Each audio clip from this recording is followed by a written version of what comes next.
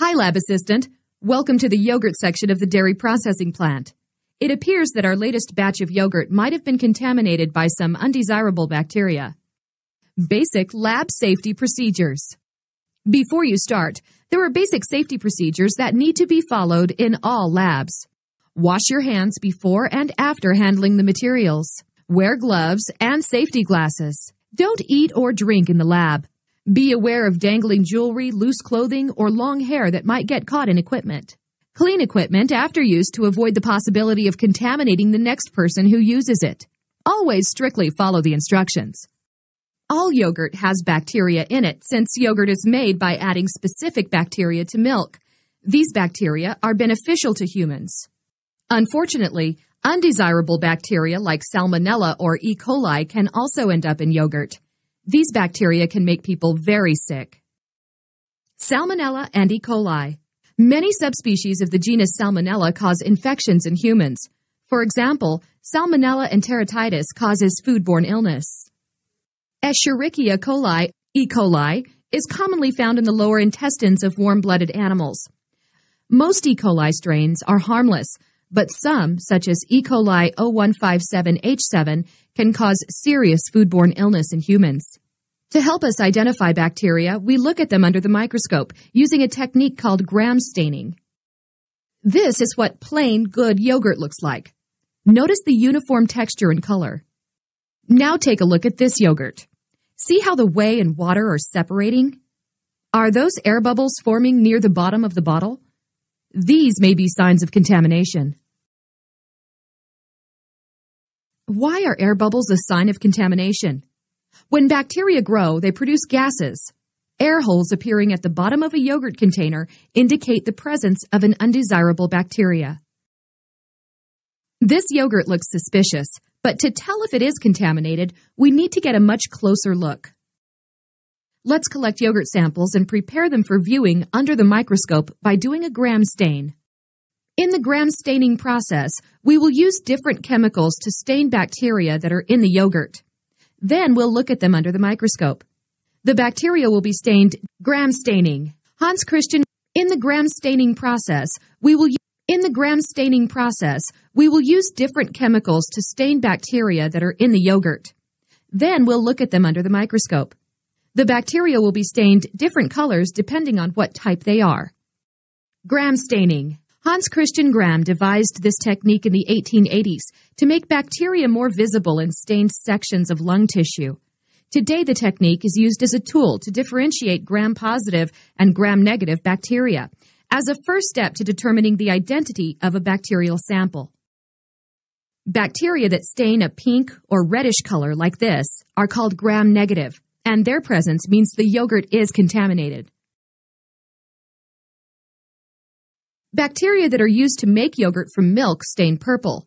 They look like this in a microscope and are called gram positive. Pink bacteria are called gram negative. Why do bacteria stain pink or purple? The stains used in gram staining react with components of the cell wall of the bacteria. The cell walls of gram-positive bacteria have a thick layer of peptidoglycan, which binds with crystal violet stain. Gram-negative bacteria contain very little peptidoglycan, so the crystal violet stain does not securely bind to their cell walls. These bacteria can be counterstained using safranine after the crystal violet is washed away with alcohol. We are going to gram stain samples of the yogurt so we can see what kinds of bacteria are present. All right, let's prepare our slides for gram staining. To prevent bacteria from contaminating our work area, we have wiped down the table with a 70% ethanol solution. We will also light a Bunsen burner to sterilize the inoculating loops we'll use later and help maintain a sterile working environment.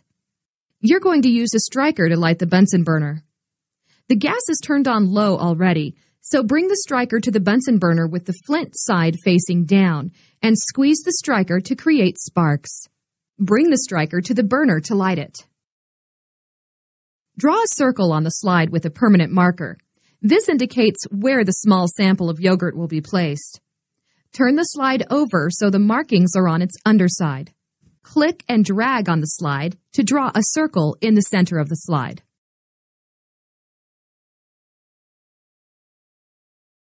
As in the previous scene, click and drag on the slide to label it with the name of the sample source, for example, yogurt. This will prevent confusion between this slide and others that you may be studying in the lab.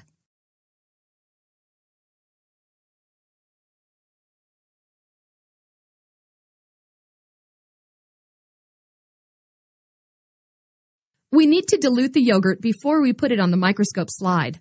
We'll use a PBS liquid, phosphate buffered saline, as the diluent to thin out the yogurt. That helps us see the bacteria with the microscope. What is phosphate buffered saline, PBS? A buffer solution is capable of balancing the pH of a sample, which is important because all organisms exist in a very narrow pH range. PBS has phosphoric acid to make the pH more acidic and sodium hydroxide to make the pH more alkaline, which helps to balance pH. We need to dilute the yogurt before we put it on the micro. Start by placing 1 milliliter of the diluent into a test tube using a pipette. What is a pipette? A pipette dispenses a measured volume of liquid. This picture shows a transfer pipette, which has a bulb to suck in liquids and force them out. This pipette also has graduations lines on the tubular section to measure the exact amount that's being suctioned. This is an inoculation loop, a small loop of wire used to collect samples. We'll use it to place a small amount of yogurt into the test tube with the diluent. Start by sterilizing the inoculation loop in the flame of the Bunsen burner. Hold it directly in the flame until it glows red hot. Work close to the Bunsen burner. Remember to always work close to the Bunsen burner, about one foot away. This will prevent contamination of your sample by microorganisms in the air. After it has cooled down, use the loop to obtain a small sample of yogurt from the suspect container.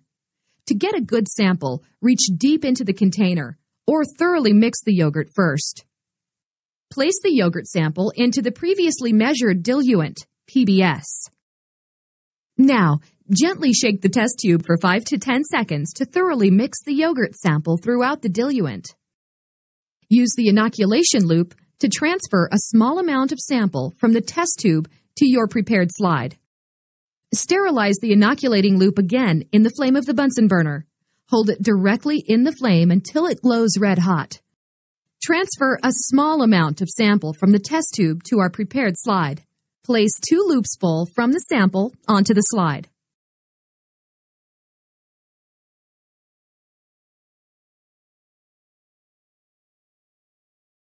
Tilt the slide to spread the drop out slightly, about the size of a penny.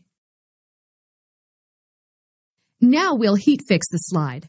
This prevents the bacteria from being washed away when we begin the staining process. Place the slide in a clasp, such as a clothespin, and pass it over the flame of the Bunsen burner. Be careful not to put it directly in the flame. We don't want to burn the sample. Just dry it out so bacteria won't wash off. What happens if the sample is overheated? The proteins in the cells denature, causing the bacterial cells to change shape. This may lead to faulty staining. Hold the slide over the flame to dry it out. Now we begin the staining process. After the staining is complete, we can look at these slides using a microscope. We use four chemicals to stain a slide. We apply them in a specific order and rinse the slide off under slow running water in between each chemical. The first is crystal violet. This is our purple stain, which will indicate gram-positive bacteria. What is crystal violet? It is a violet-colored dye. The dye penetrates the cells of gram-positive as well as gram-negative microorganisms. This happens because components in the dye form positively charged ions that associate with negatively charged components in cell walls.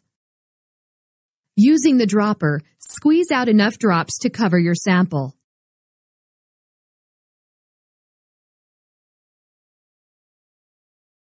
Let that sit for 60 seconds. Now rinse it under slow running water. Now use the bottle of Grams iodine. Grams iodine will fix the dye to the cell walls of the bacteria and make it permanent. What is Grams iodine? Grams iodine is a solution used in the gram staining procedure. Iodine, I, interacts with the crystal violet, CV, that has associated with cell components to form a bigger complex, CVI. This complex becomes trapped in the cell membrane. Squeeze several drops onto the sample, enough to cover it completely. Let that sit for 60 seconds. Now, rinse it under slow running water. Now we are going to use the alcohol solution. This will wash off the excess dye, leaving only the dye fixed to the bacteria. What is the function of the 95% alcohol solution? The alcohol solution will remove the CVI complex from the cells of the gram-negative organisms because of their thinner cell membranes. It also removes excess CV from gram-positive organisms if that CV has not formed the CVI complex. Now we are going to use the alcohol solution. Use the alcohol dropper to cover the sample in alcohol. Let the alcohol sit for 30 seconds. Time is very important in this step. Don't let the alcohol sit for more than 30 seconds. Now, rinse it off under slow running water. You now have stained the gram-positive bacteria purple. The next and final step will stain the remaining bacteria pink. These bacteria are gram-negative. What is safranine? It is a pink-colored dye that stains cells that have been decolorized after the alcohol wash. Since gram-negative microorganisms no longer have any stain after being washed with alcohol, they take up the pink stain at this stage. Use the dropper to cover the slide with safranine. Let that sit for 60 seconds. Now, rinse it under slow running water. Now our slide is ready, but it is still wet. To dry it off, place it between two sheets of highly absorbent bibulous paper. Gently press the paper down a few times to blot the water off the slide. Good job! You now have one slide ready to look at under the microscope. Try doing the next one on your own. You can always click on the hint button if you need help remembering which step comes next. Good job! You notice the timer and the two buttons next to it. These buttons let you decide how long to wait for a stain before rinsing. Remember, you can click the hint button at the bottom right for help. Click Next and begin gram staining on your own.